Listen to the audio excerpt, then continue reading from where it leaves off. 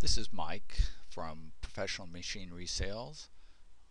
This is going to be a short video on uh, the ease of uh, KCD to use uh, even for those uh, without any computer experience. This is our floor plan and I'll uh, just switch to an elevation plan by using a space bar. Um, we'll move over to the uh, uh, select a frame uh, versus frameless uh, style of construction. You can do is either.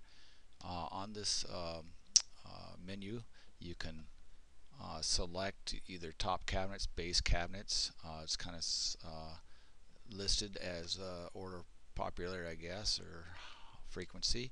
Then you have appliances uh, and tall cabinets, and then many, many, many others I won't get into right away. Angle cabinets, kick boxes, and things of that nature. But right now we'll just go ahead and pick a uh, an appliance here. We'll pick a stove. And what we'll do is you just need to pick the uh, appliance. You say how wide something is and where you want it. And I'll go ahead and select 110. Uh, and I'll it's not exactly right, but I'll show you that why in a minute.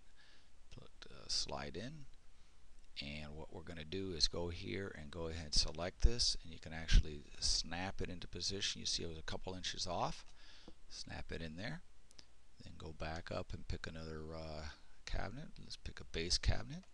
Now it will remember where you were uh, your last pro what your last uh, item was you selected and you can uh, actually go in there and say okay this uh, you can see we got 22 inches here.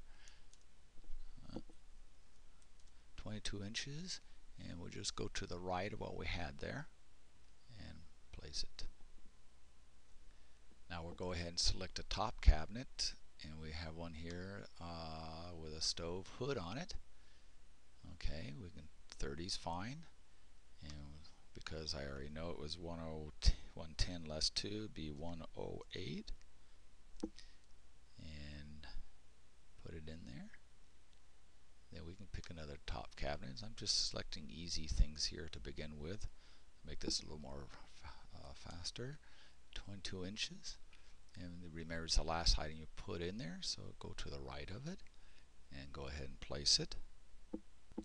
Now undoubtedly the next thing you might want to do with your customers is go ahead and show a 3D perspective of it.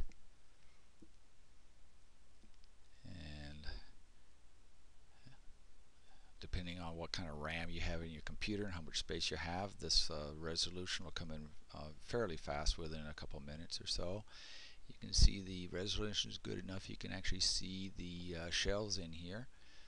But you can actually, uh, because many times you know kitchens have four walls, you can actually go in here uh, and rotate this to the right where you want it. And you can see here we have a wall in the way so what we can do before that comes to full resolution, I can go in here and delete this one wall. It's just deleting it in the form of the picture, not on the actual program. And actually change your textures. We can put some, um, you know, uh, leaves, uh, let's say, on the wall, on the picture, drywall.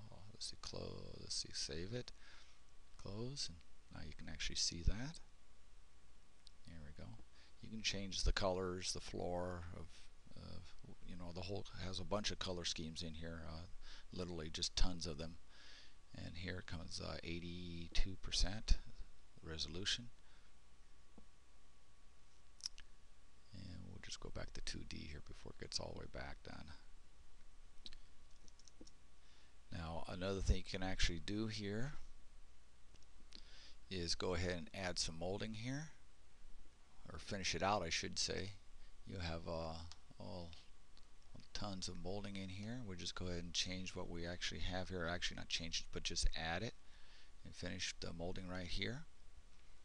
Uh, another thing that we can do is take the doors off here and I'll show you how custom this can actually be. It's not just for standard cabinets. You can actually go in here and say let's make this 21 and say uh, an eighth and we can actually go in here and make this 30 inches tall we can make the right style here uh, 4 inches because it's against the wall here or at least it, it was until I changed the, the width here a little bit and we can actually maybe make it one shelf instead. Go in here and make those changes. You can see the 7th H, 7th eighth of an inch, 21 and an eighth here, and 30 and one shelf. So uh, in a, another nice feature about this program is that you can actually go up here and change your levels from what the customer kind of wants to um, your uh, full dimensions here. And here's your 4 inches uh, dimension here all your face dimensions. And then you can actually go here. Another benefit is you can get your door sizes here uh, doors and drawers which is very beneficial because if you got this wrong it wouldn't be the customer paying for that. That would be uh, you know if you're the owner you'd be end up paying for that. Um, another uh, quick thing we can do here is actually change your doors. And you can see here we have uh, a lot of different doors uh, MDF flat panels and things of this nature. You can actually go up here and put your most popular ones down here and then we can actually go here and say uh, just put a uh, shaker type door flat panel thing here and say okay. And there you have it. Uh, we have uh, a change of doors. Uh, you can change go back and change doors uh, to you know maybe a different style of cabinets for instance the, from doors to drawers.